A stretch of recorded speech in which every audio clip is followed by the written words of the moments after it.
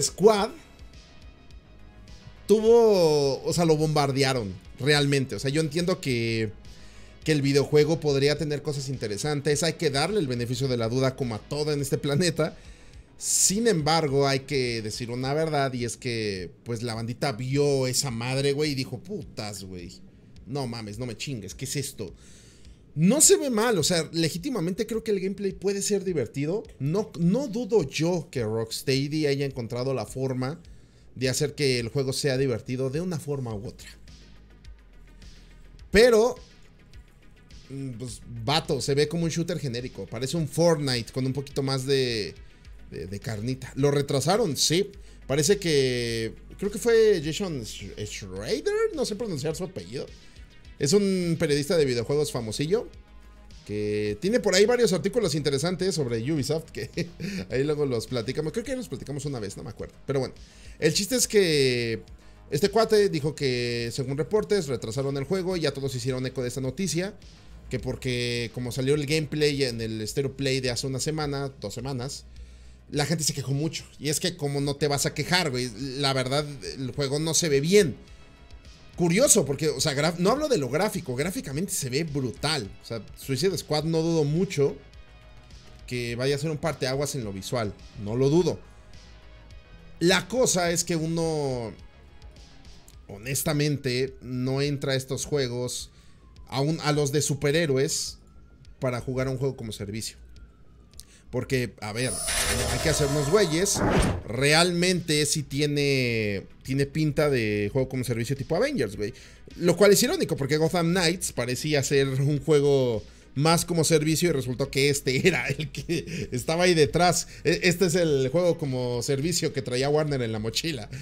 Así que, pues no lo sé. Mm, les digo, no se ve mal, se ve que podrá estar divertido. Pero mm, estos personajes no necesitan esto, ¿sabes? Y, menos que se lo encargaran a un estudio como Rocksteady. No, no hay que tampoco exagerar, por ejemplo, Monolith, ahorita los, los creadores de Shadow of Mordor, si no me equivoco, se están encargando de Wonder Woman, van a utilizar su sistema Nemesis, o sea, allá sí vamos a tener un juego que va a ser enteramente single player.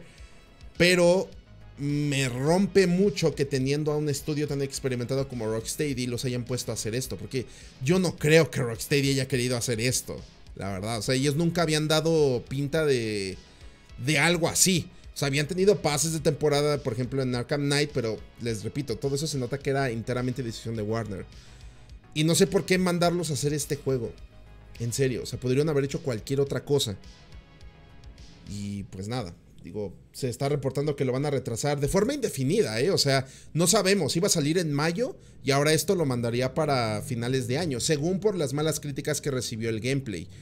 Porque, a ver, no es un secreto que mucha bandita se quedó con cara de ¿what? Vean, hay cosillas que se ven chidas, por ejemplo, aquí el movimiento de Boomerang se ve, se ve brutal, güey, se ve cabrón. Pero, por ejemplo, no sé, ver a Harley Quinn balancearse es como, ok. Y luego, ¿qué es esto? O sea, es un sandbox son escenarios cerrados. ¿Qué coño es esto, güey? O sea, no. Creo que ese es el problema, que a pesar de que ya entendemos cómo se va a estructurar el juego, cómo va a monetizar, aún hay cosas que no se entienden, como que qué chingados son. A ver, el retraso no creo que vaya a ser de ninguna forma para, para hacerlo single player. Creo que sería muy, muy difícil ya ahorita a estas alturas del partido. Pero yo creo que sí podrían, no sé, tratar de nivelar un poquito ese pedo de las microtransacciones. Porque la verdad, a pesar de que aquí te están con puro bla bla acerca de. de. de que mucho contenido va a ser gratuito, etcétera, etcétera. La bandita se quedó con que, dude, hay un nivel junto al nombre del personaje. Me vale verga todo lo que me digas, güey. Y ahorita ya estamos saturados de ese tipo de, de videojuegos. O sea, a ver, hay algunos que están muy consolidados. Todos quieren su Fortnite. Yo lo comprendo. Pero así como todos quieren su Fortnite, no cualquiera puede ser ya como Fortnite. Porque esos vatos entraron en el momento indicado, a la hora correcta y vaya, por eso explotaron. Ahorita a estas alturas del partido, cuando la gente ya está tan saturada de juegos como servicio, y luego después de... Lo que más duele es después de haber visto lo que le pasó a Avengers, es que, a ver, Crystal Dynamics no es un mal estudio, güey. Square Enix no, no hace malos juegos en su mayoría. O sea, también hace cosas buenas. Y aún así hicieron Avengers. Y bueno, pues acá el caso de Rocksteady, pues lo mismo. Entonces, yo pensé que sí era Fortnite. no, no es Fortnite. O sea, también, digo, visualmente se ve mil veces mejor que Fortnite. Pero, no sé, o sea, veo el juego y no le agarro el chiste. O sea, es, todos, todos son pendejos personajes de shooter, güey. O sea, ¿sabes? Ahí creo que de ahí viene el problema. Le falta más personalidad. O sea, podrías tener un mundo visualmente interesante, pero no le agarro la personalidad a este juego. No, simplemente no le agarro.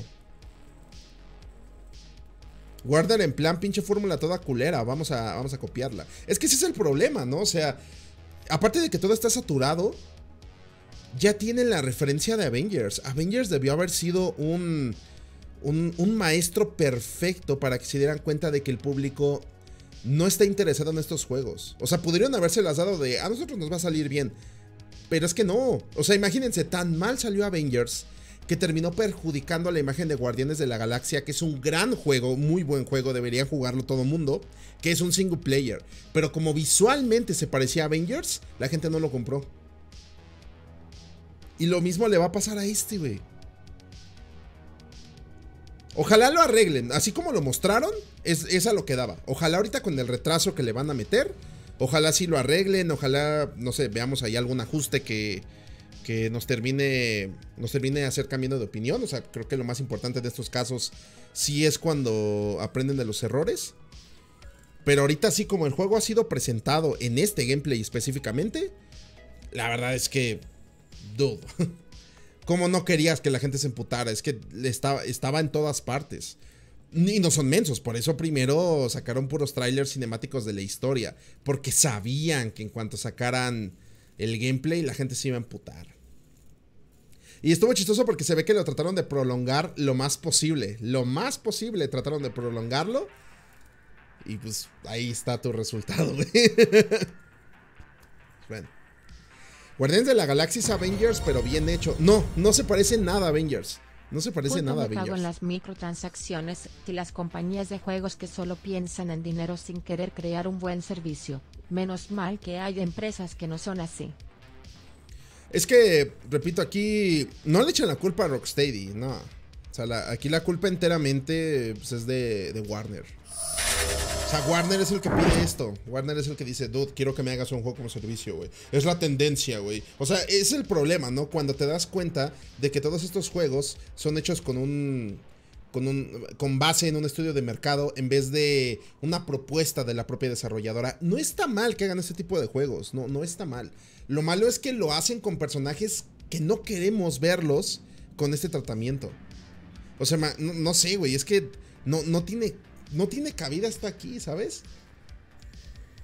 Cuando pienso en Capitán Boomerang, pienso en metralladoras, dice el mano. Efectivamente, mi buen mano, efectivamente. ¿Cómo lo supiste? Y luego no sé, o sea, a mí, a mí me saca mucho de onda. Les digo que, que todos los personajes sí se ven visualmente diferentes, pero es que todos al fin y al cabo son un shooter. O sea, mínimo Avengers, Avengers. Hace que Hulk pelee con las manos, güey. Hace que el Capitán América pelee con el escudo, güey. Que Thor pelee con el martillo. Se ven visualmente distintos. Avengers, que es el peor ejemplo para decirle a alguien lo que debe de hacer. Y este juego lo hizo al revés. O sea, toma, toma, el mal toma lo malo de Avengers, que es el juego como servicio, y lo, y lo convierte en un shooter que nadie pidió. O sea, es que literal eh, está, está en la lela. Lo único que puede salvar este juego, la neta, es el nombre de Rocksteady. Lo único que podría salvar este juego. Neta, espero que lo reparen. Espero que ahorita el retraso que vaya a recibir sea por algo bueno. O sea, ojalá sí sea por algo bueno. Y, y pues nada, pues habría el resultado final dentro de unos meses. Creo que es lo que más, lo que más estamos esperando, ¿no? La pregunta aquí es, de, los que están aquí en el chat, ¿quién espera, quién espera realmente este juego? ¿Quién tiene curiosidad siquiera de jugarlo? Yo, yo sí, la verdad, o sea, en cuanto, si, si hubiera salido ahorita en mayo, claro que lo hubiera jugado para ver qué tal. Pero ¿quién más tiene curiosidad de, de echarse un ratillo ahí las partidas?